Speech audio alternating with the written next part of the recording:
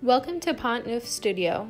My name is Kristen, and today I will be showing you how to make this keychain wristlet.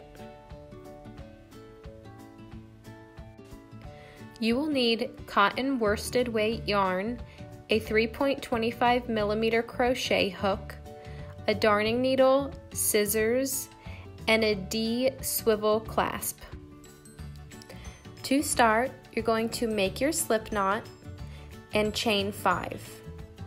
I do have video tutorials on how to do the slip knot and chain that I will link in the description below.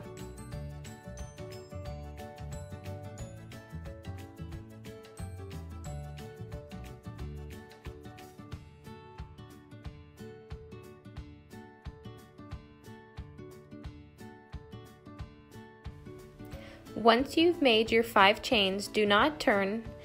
Insert your hook into the second chain from your hook. And you're going to do one single crochet in each chain stitch for a total of four single crochet.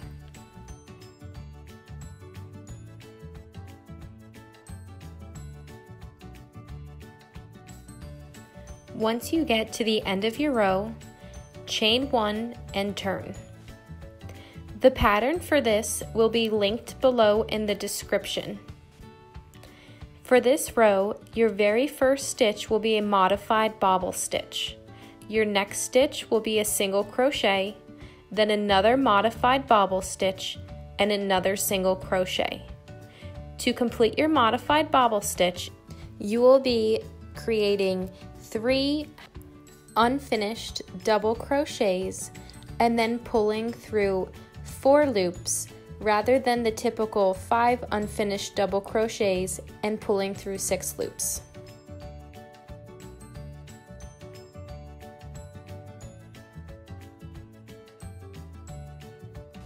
Single crochet into the next stitch.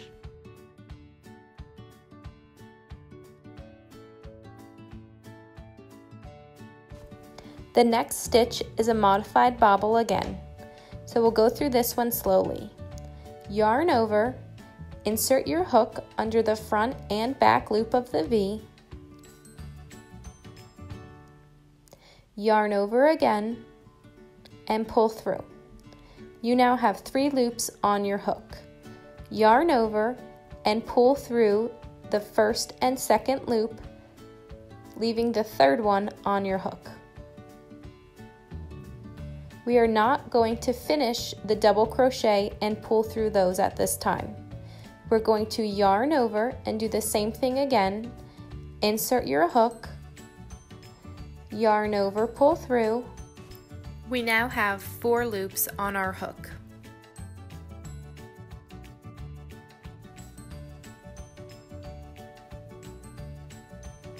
Yarn over and pull through the first two loops you now have three loops on your hook. We're going to do one more unfinished double crochet. So yarn over, pull through, you now have five loops on your hook.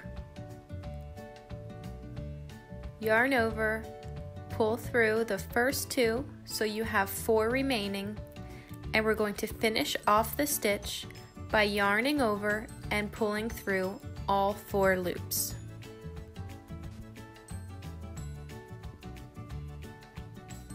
As you can see, we are at the end of the row and we are going to single crochet into that last stitch.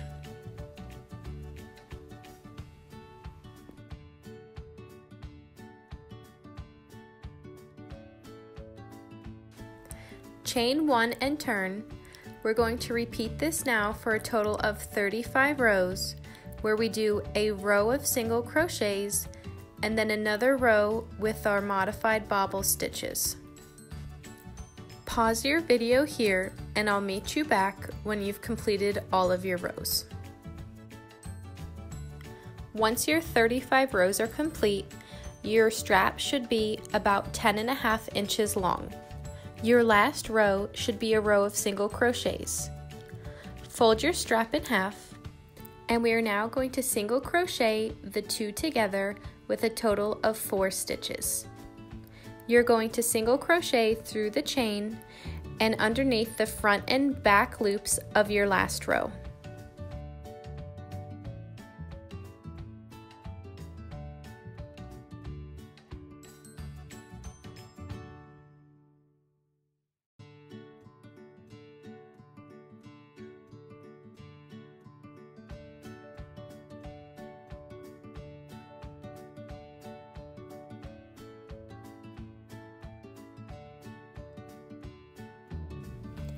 Chain one and turn and we are going to make seven more rows for a total of eight single crocheted rows including our very first one where we single crocheted the top and bottom together.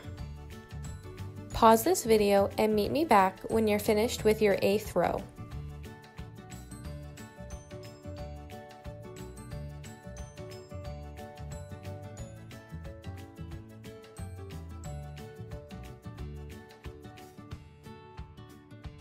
Finish off leaving about an 8 inch tail for sewing.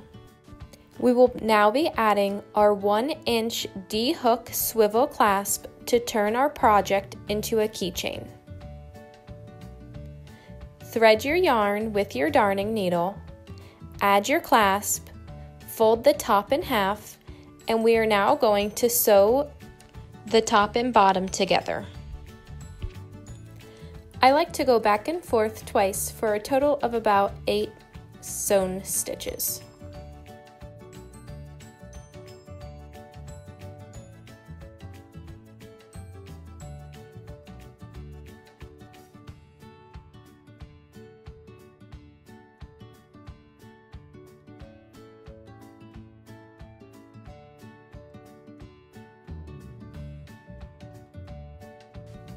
Once your stitches are finished, it's time to weave in your tail and trim the end.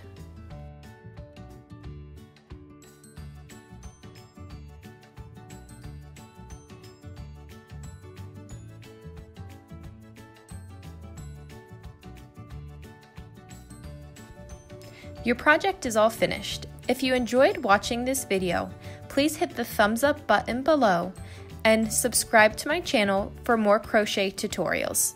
Thank you.